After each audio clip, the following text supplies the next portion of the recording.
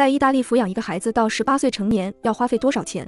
意大利华人街消息，意大利一直是人口出生率最糟糕的国家之一，世界排名第二百零一位。在意大利，普通养育一个孩子至十八岁成年的成本平均在九点六万至十八点三万欧元之间，富有的家庭养育孩子的成本在三十万欧元左右，这相当于在意大利购买一套房的价格。在 Allianz 旗下的独立财务咨询公司 Money Farm 的计算中，仅仅在孩子出生前就必须准备一大笔款项，数字基本在一千四百至八千欧元，具体取决于婴儿车、婴儿床以及各类婴儿用品购买的数量以及品牌，还有各种 B 超级产检的频率。在孩子三岁左右，费用已经累计花费一万到两万五千欧元；四至五岁将花费一万至两万七千欧元；六至十一岁将花费两万八千至四万八千欧元；从十二到十八岁的费用基本在四万五千到七万四千欧元之间。孩子随着年纪的增长，花费也就越大。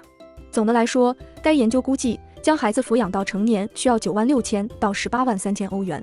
而十八岁成年后能够独立的孩子少之又少。因为孩子还将进入大学、职业培训时间和进入工作的过渡时间，这些都没有被计算在总成本内。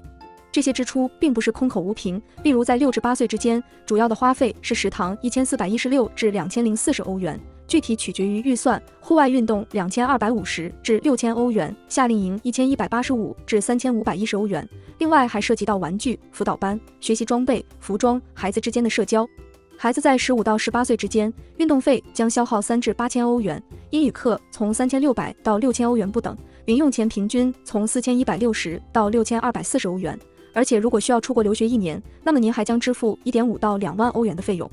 在孩子服装方面，差别不在于穿的是女装还是男装，而是有没有品牌。孩子穿有品牌的衣服，平均总成本将超过一万欧元，但通过避开设计品牌，费用将减半。另外，电子产品的费用影响也很大。平均花费九千到一万八千欧元，比如电脑、手机、平板电脑、订阅视频、游戏。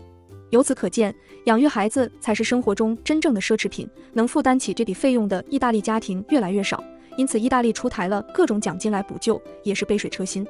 有孩子的街友们，计算过您孩子一年的费用吗？欢迎在评论区讨论。